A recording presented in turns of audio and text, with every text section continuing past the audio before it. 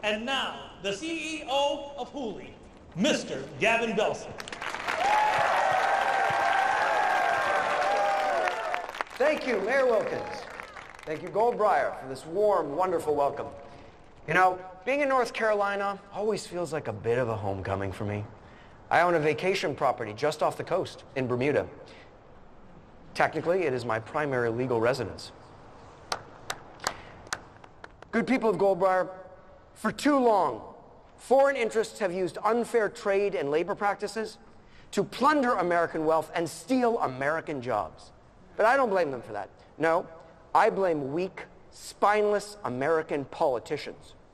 But if your mayor does his job, your jobs will come back, and soon you will proudly be building the Gavin Belson Signature Box 3. But if for some reason he can't make my very reasonable proposal work, you know who to blame. I'm excited to get started. What about y'all?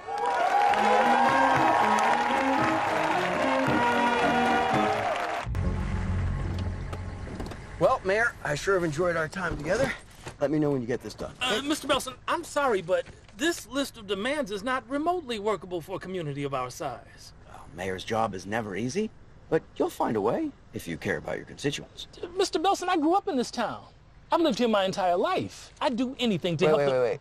Your entire life? Mm-hmm. How old are you? 47. That's a little weird, isn't it?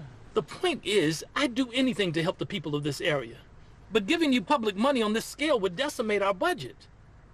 I could have the local high school renamed after you. Rosa Parks has never even been to Goldbriar. I don't want a fucking high school. I want to manufacture boxes at an 80% profit margin. I don't understand. All my asshole friends keep getting NFL stadiums and corporate headquarters all fully paid for, and you can't make one fucking factory happen? I mean, the only things I have left to cut are essential services. There you go. Do that. You could have a volunteer fire department, because I can't afford a penny more than this. Everybody ready? Two, three, Oh, Carolina, well off, jump and prance. Oh, Carolina, well off, jump and prance. Oh, Carolina, got proud of. Together if I jump and prance. Proud of, jump and prance. Carolina, move up upon me.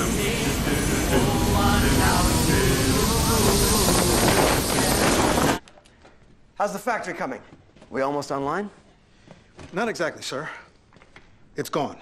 What do you mean? Did that dipshit mayor renege on our deal? No, he made every effort, including having the factory repainted. Okay, so what's the problem? Well, apparently, the painters left some oily rags in a garbage can. Hmm? But because of cuts to the sanitation service, the trash was not collected, and the rags smoldered and caught fire. And because of cuts to the fire department, the blaze spread.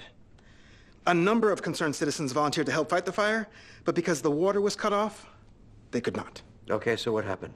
Well, the vast majority of our expensive rare earth materials survived the fire Well, that's something.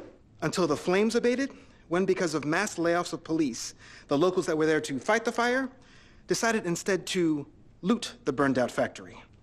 The National Guard attempted to reach the factory to help stop this, but The roads. the road, sir, yes. Okay. So we lost it all. Everything? Yes. Also, the IRS called. Somehow they found out about Bermuda.